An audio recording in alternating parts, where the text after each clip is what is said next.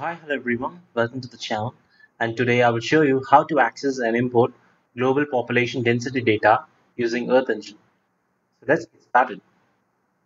So to import a global population density data into Earth Engine, we have to define a variable called dataset equals to double dot image collection CIESIN GPW 411 uh, global population density dot first so this particular code can use can use to import the global population density data into Earth Engine. So let me show you that. So this is a site where uh, we can access our data and access our uh, global population density data and uh, we can import into Earth Engine. So this is a socio-economic data and uh, application center SEDAC so this particular data is being generated by NASA and uh, it is generated and produced by NASA. So you can access data from uh, NASA and SEDAC website. So this particular website you can access data. So now to to import this uh, global population density data into Earth Engine, we have to specifically use this code. We have to use this code w.image collection C E uh, C I E S I N GPWV 411 GB population density. So using this uh, code, you can able to import our uh, population, global population density data into Earth Engine. So dataset provider, it is NASA and SEDAC at Center for International Earth Science Information Network. So data availability, it is from available from 2000 to 2020. So let me show you in Google Earth Engine how to import this data now to import our global population density data into uh, Earth Engine, we have to define a variable called dataset equals to double dot image collection and uh, CIES, that specific code. So this specific code can be used to import our global population density data into Earth Engine. So we have uh, we can use this specific code to uh, import our global population density data into Earth Engine and dot first refers to uh, we are just loading the first uh, image. So instead of accessing all the image I try to access the first image. So I've defined a dot first. The next is uh, because there is a multiple data sets being available in our global population density data I could like to access only specifically the population density data from this image.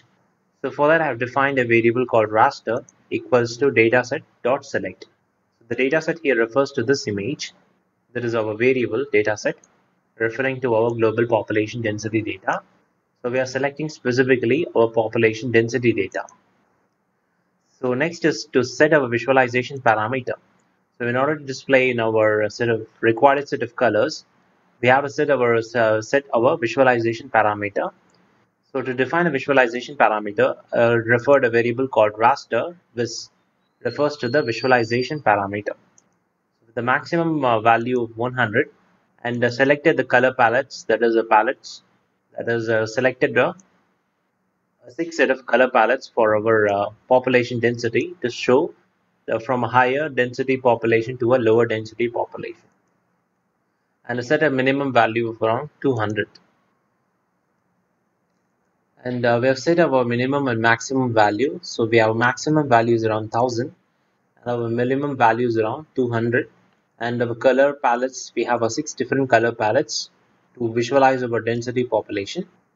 Density of our population density in our earth engine. So next is uh, the map dot center.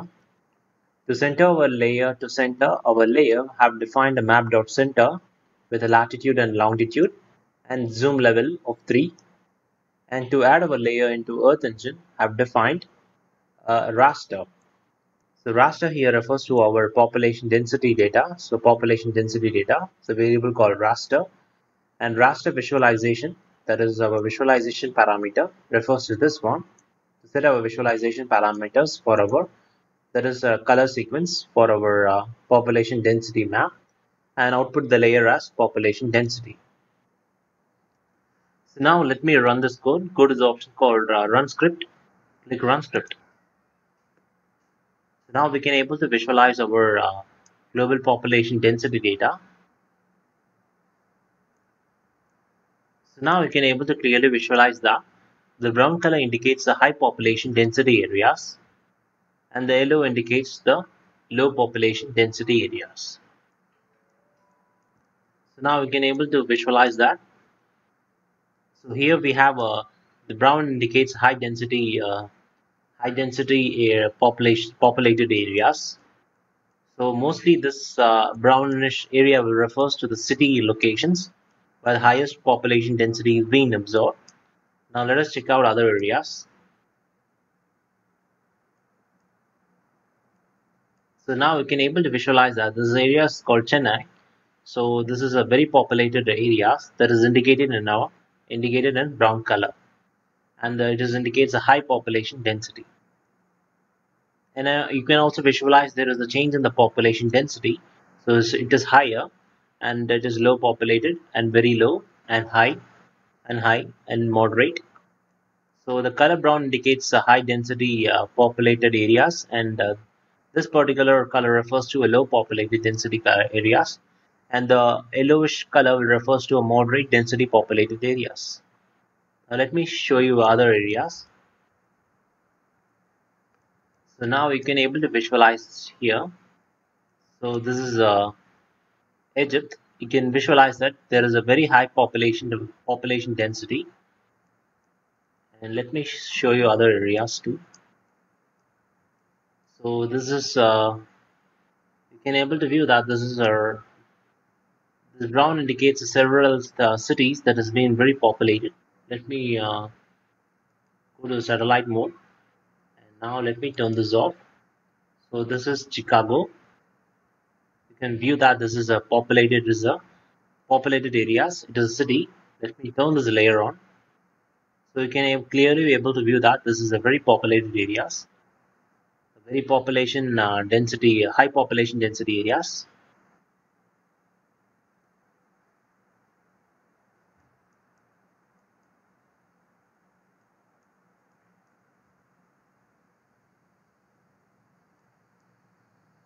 Similarly, you can also view here there are several uh, places where it's very high populated. So similarly, this area is also pretty uh, populated. Let me uh, this is Rio de Janeiro.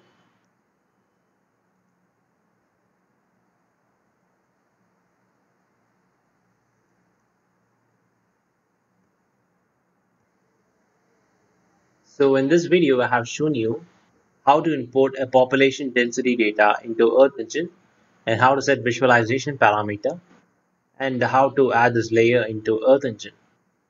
So thanks for watching. Please subscribe to our channel and give us a like.